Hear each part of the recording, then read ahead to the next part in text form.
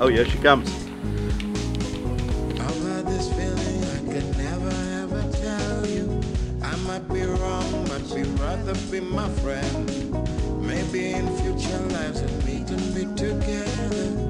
We'll make a promise that we're gonna be okay. Uh, could we? Could I answer that later? I made a promise oh, I'm wearing it. Green. you. You know when elevator doors are closing, my fear is getting squashed in between.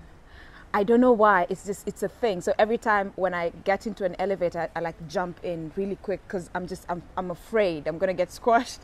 I fear that more than death. It's ridiculous. I know.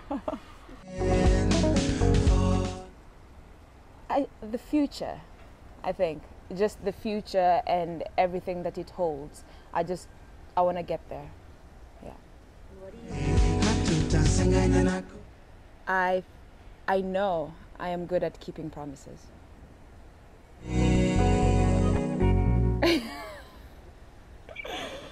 it has to be math. Oh God, I suck at math. Um, just thank God for accountants, you know. Just no.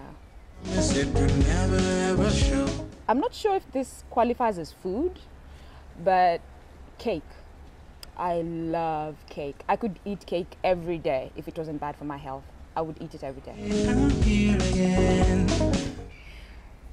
Some people say I'm impatient, but I like looking at it as as being time sensitive. Yeah, that's what I'd prefer calling it. Not really impatient.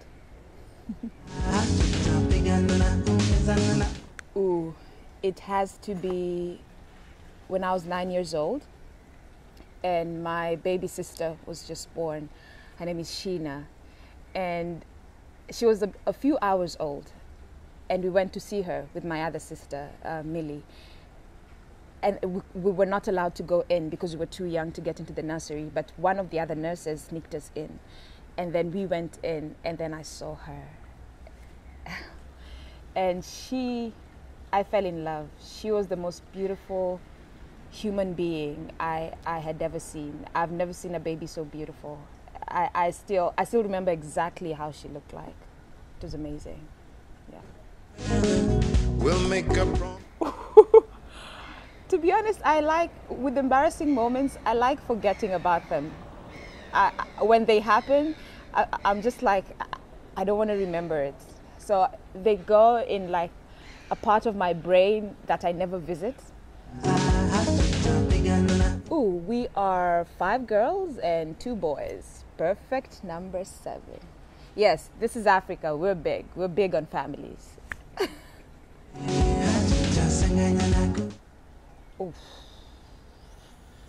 It will have to be a tie.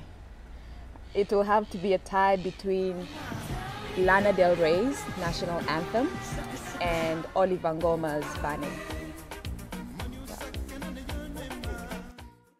The greatest film ever made.